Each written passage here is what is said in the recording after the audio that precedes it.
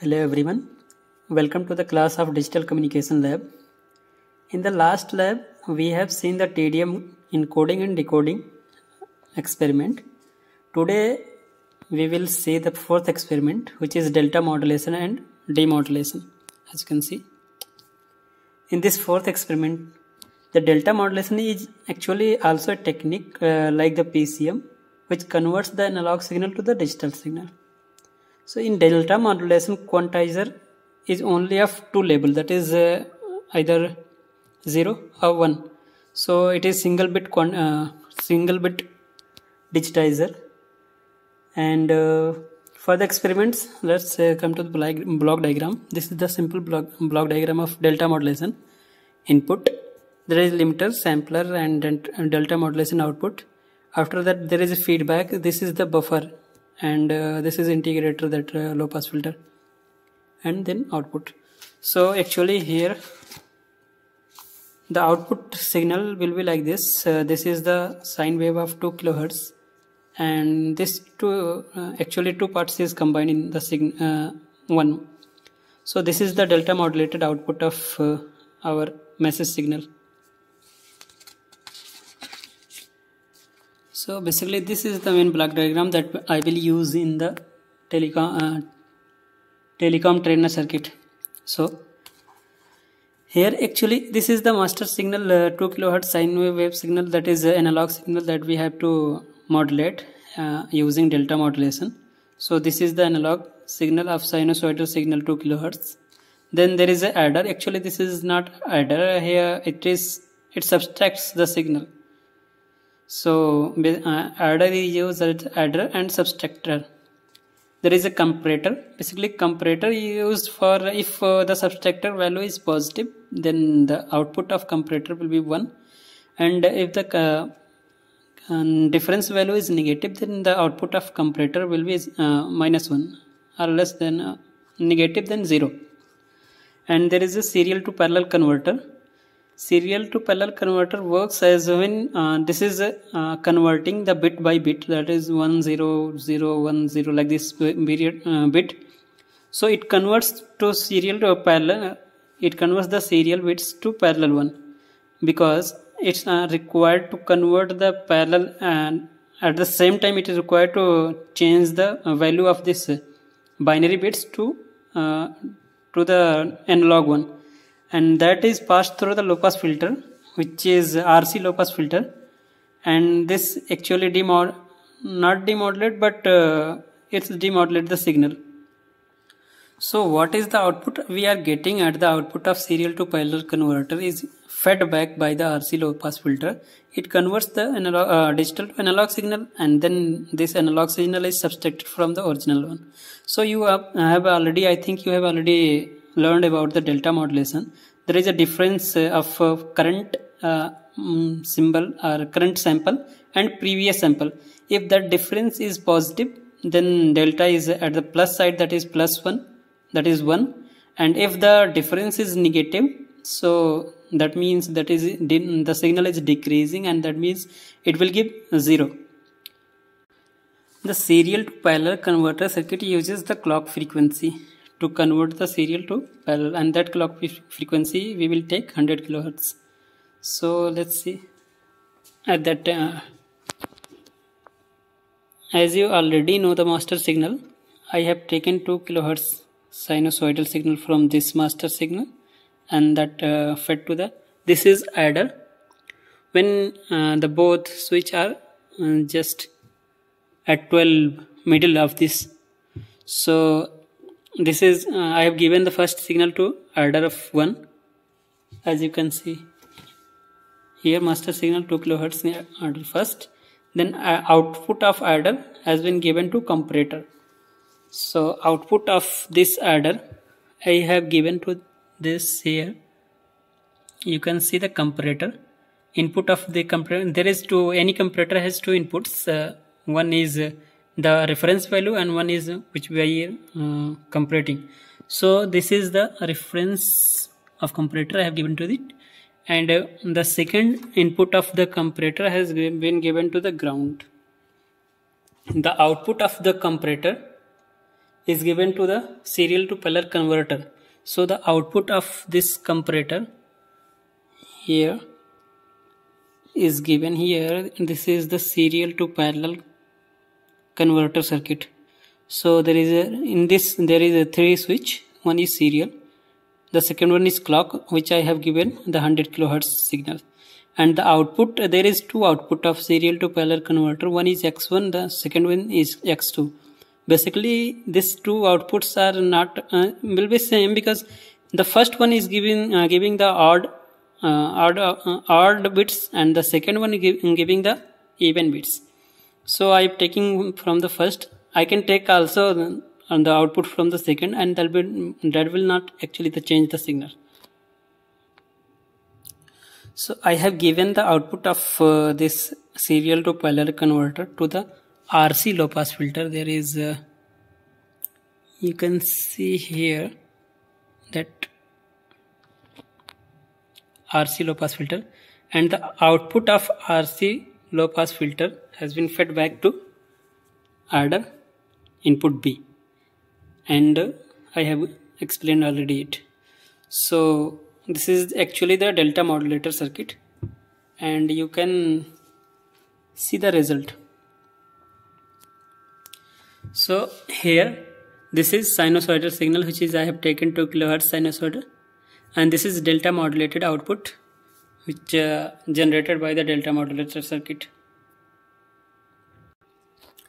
So for understanding I have changed this output for a serial to parallel converter.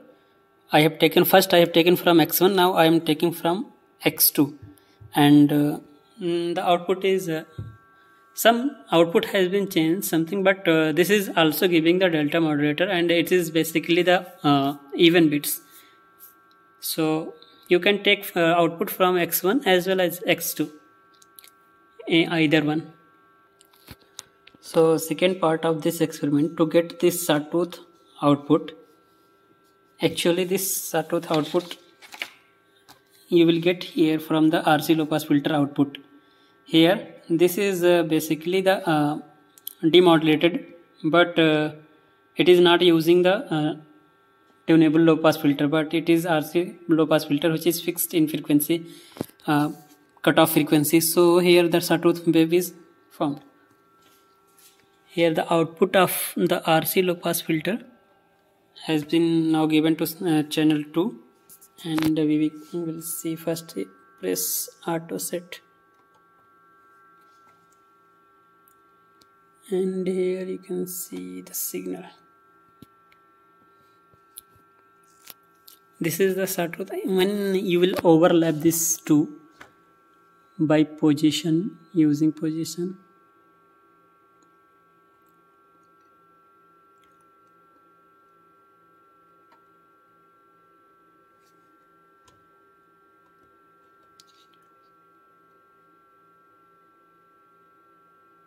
Actually there is phase shift between two.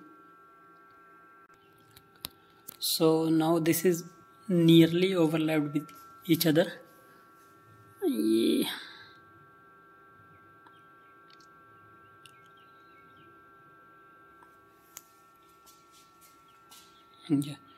so this is the modulation part of the delta modulator. Now we will go for the demodulation of del delta modulation. So for the demodulation there is a same circuit has been given. So you have first modulate then after the serial to parallel converter this has given to tunable low pass filter then recovered signal has been obtained. So here after serial to parallel circuit I have given the output to the low pass tunable low pass filter here. You can see here and the output uh, of this tunable low pass filter. This is given to channel 2 and now press auto set. So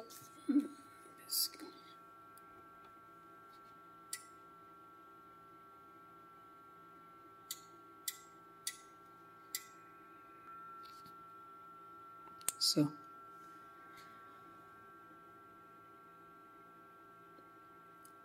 so this is the original signal that is a 2 kilohertz sinusoidal signal. And this is the reconstructed or demodulated signal of uh, delta modulation that uh, is from output of low pass filter. So I think you can understand all the things by the just circuit.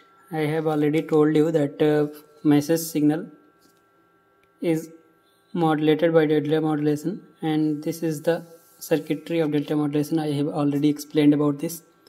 And after passing it to the low pass filter I have recovered the message signal accordingly. There is uh, sometimes of error that is over uh, slope overload error and uh, granular error in the delta modulation. So you can understand by uh, just figure so if uh, this is sinusoidal signal so this is ts that is sampling interval and that this is step size that is delta. The, so the slope of uh, this will be delta by ts equals to delta by, delta into fs this is the slope of the quantizer. And uh, slope of your sinusoidal signal when uh, you let uh, the sinusoidal signal uh, s equals to a cos omega t.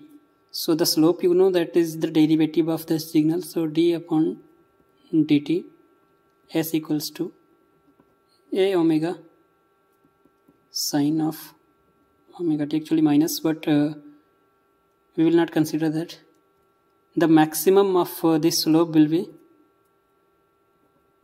a times omega. So there is uh, two types of uh, error. One is slope overload and the second is granular error. In slope overload the message uh, slope is uh, greater than the this quantizer slope. And in granular error the message slope is less than the this quantizer. So for the perfect reconstruction of the signal or perfect delta modulation there on this condition that is delta into fs is should be equal to a omega. So if for the um, slope overload modulation uh, error the message uh, our message slope will be greater that is a omega greater than delta into fs. So when it is possible you, can change anything. This is the message frequency this is the amplitude of the message and this is the step size and this is frequency sampling frequency. So if we increase uh, if you are decreasing the sampling frequency then delta uh, there will be slope overload error when you are decreasing the delta you cannot decrease here the delta because it is fixed. So you also get the slope overload. By changing these four variables you can get either slope overload uh, error or granular error and if uh, this equality holds then that, that will be perfect delta modulation. So I cannot change here. Actually um, the master signal in this uh, block is fixed frequency as well as fixed amplitude. So I cannot change here that uh, I cannot show you how it is affects.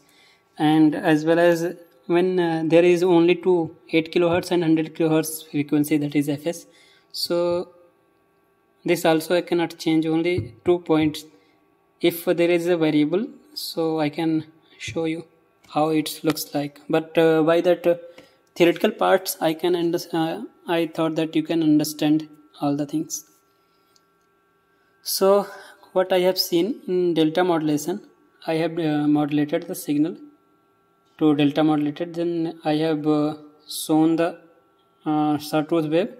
Then I have demodulated, demodulated the delta modulation modulated signal. And I have explained some uh, errors that is occurring in delta modulation and why so for this lab I think this is enough. If you have any doubt so you can uh, ask in class